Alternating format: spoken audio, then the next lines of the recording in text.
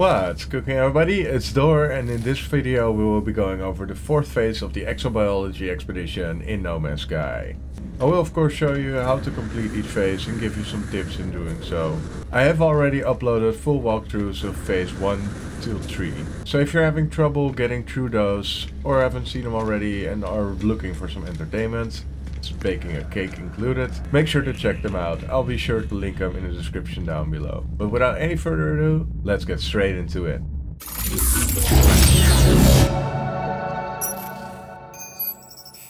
So the first thing we're doing for this expedition is of course to go to the fourth rendezvous point. If you've seen my video on the second phase, you know that we already have visited that system. So make sure to warp there using a teleporter. Once you are within the 4 system, make sure to head up to your starship and take off. You should see the approximate location of the fourth rendezvous marked on your HUD. Make sure to fly there. Land at the approximate location and get out of your starship. Open up the target sweep on the analysis visor to home in on the exact location. And of course make sure to check back regularly to see if you're still going into the right direction. When you are close by the rendezvous point, the signal will finalize.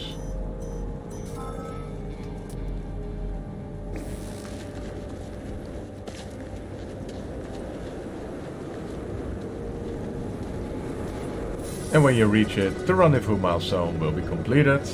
And claiming this will reward you with a thousand nanites, an exosuit expansion unit, a multi-tool expansion slot, and storage documentation for your starship. Now before we get off this planet I would recommend to track the marine biology milestone. This will require you to scan 10 underwater creatures. This planet has quite good bodies of water, so make sure to get in there. Of course wait a little while to have the fauna spawn in, and then use your analysis visor to track them down and to scan them.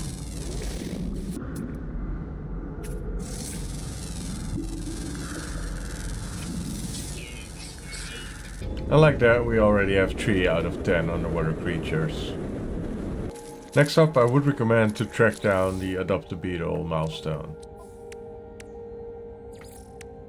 Make sure to head back to your starship and fly into space. Open up the galaxy map. From the Lume 4 system, you will want to enter Free Look and go down a bit. We're looking for this system right here. It's called Stinete 7 and it is 138 light years away. Make sure to warp there.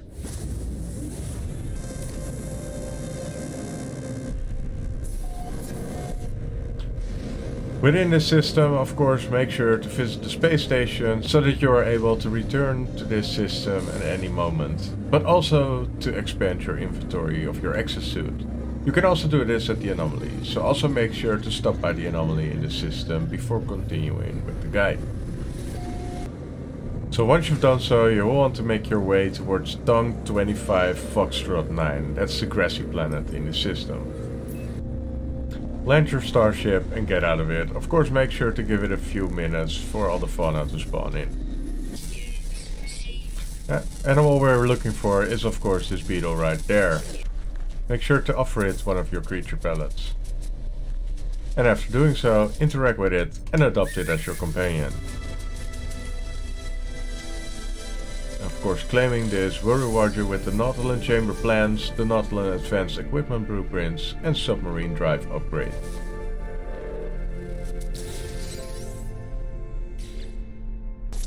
So adopting this companion will also count towards the companionship milestone, which will require you to adopt 3 companions in total. So you could expand your companion register to free up some slots to be able to adopt some more companions.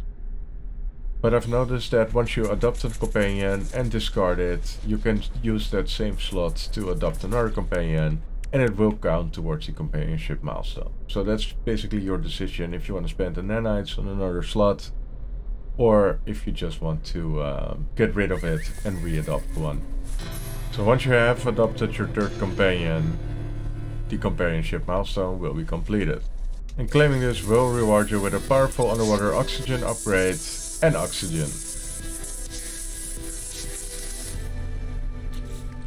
of course make sure to install these underwater upgrade modules right away. And to place them next to each other for an adjacency bonus. So once again, this planet has some bodies of water, so make sure to also go in there and scan some creatures for the marine biology milestone. So I managed to scan three underwater creatures within a few minutes, so it's definitely a good planet to uh, get some in. So now you should be at 6 out of 10 animals. Of course, if you cannot find them, you can always go to the Discoveries tab and look for planets within that systems that feature underwater animals within the list, like this. So next up, I would recommend to track the Ice in the Reeds milestone, which will require us to discover a creature on a swamp world. Make sure to head back towards your starship and fly up into space. Summon the anomaly or go to the space station and make sure to visit the teleporter. Make sure to interact with the teleporter and warp into the Anfraka system. Now as you may recall, for the second phase of this expedition we had to visit a swamp planet. This is the system where that swamp planet we went to lied. Make sure to fly out of the space station and fly towards the murky planet Amaim. When you've landed on the planet, of course make sure to explore around for a bit until you see some fauna popping up. Make sure to scan one.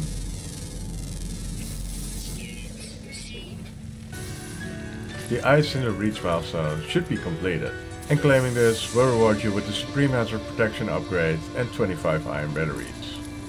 And of course, make sure to install the hazard protection right away. Get back into your ship and take off. Head back up to the anomaly and go towards the teleporter. I decided to warp back into the Lumpur system, but of course you can use any system which has planets with water in it. So in the Lumpur system we have of course already visited New Ola, so make sure to not go there.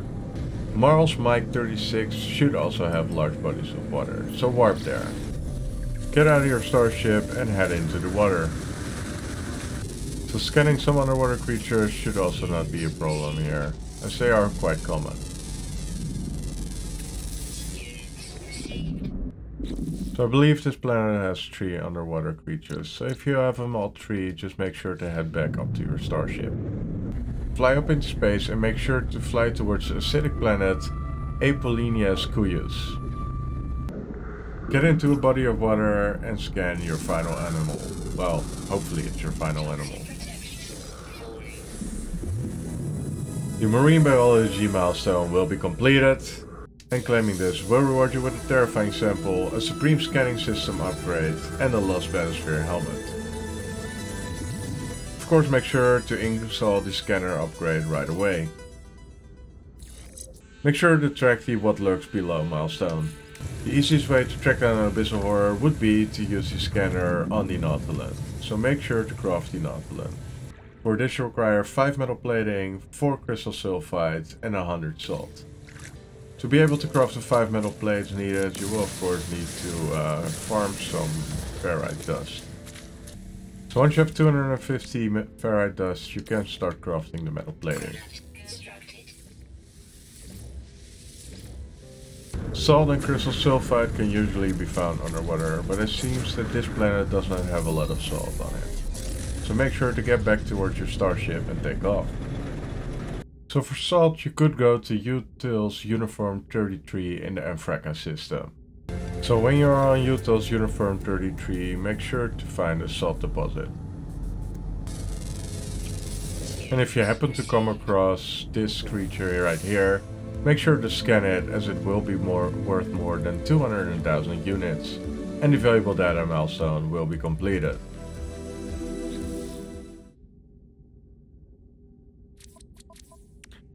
And of course, claiming this will reward you with 600 Quicksilver and 3 Exosuit expansion units. Thank you, little guy. Yes. So back to the salt deposit. Once you found one, make sure to mark it on your HUD and to go there. Once you're at the salt deposit, of course make sure to mine it using your terrain manipulator. So once you have plenty of salt, make sure to head back towards your starship and take off. You'll need to warp towards a system that has planets with bodies of water.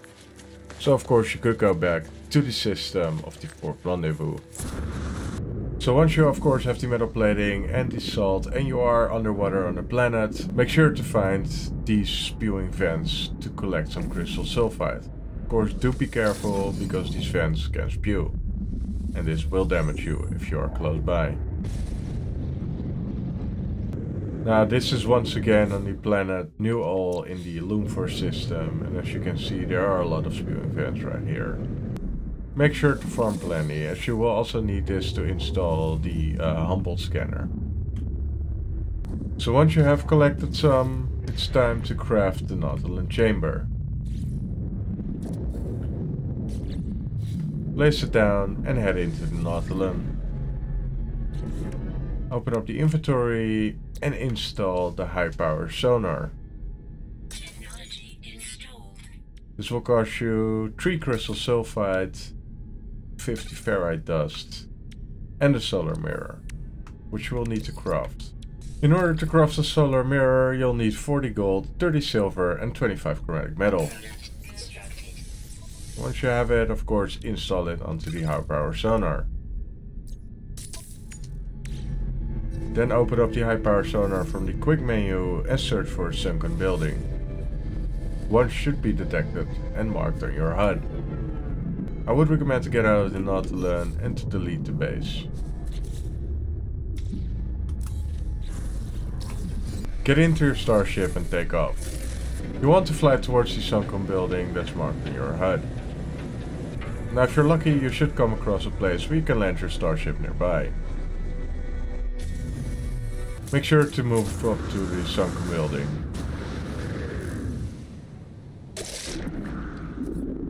Now, every sunken building should have an abyssal horror. There are these eye-looking creatures right here.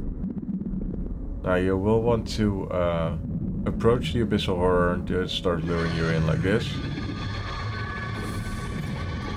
And then you want to escape it.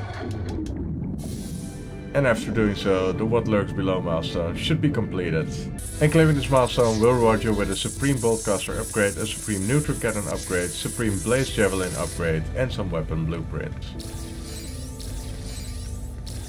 And this also concluded phase 4 of this expedition and collecting this reward will give you the amazing exotic wingback customization. So let's have a look into that. So and this concludes this video, phase 4 of the exobiology expedition. You will still have 6 days to unlock this amazing backpack and it's a must have if you ask me. Of course if you use my guides, which I will all link below, it shouldn't take you too long. I really really hope you enjoyed this video and I hope to see you in the next one.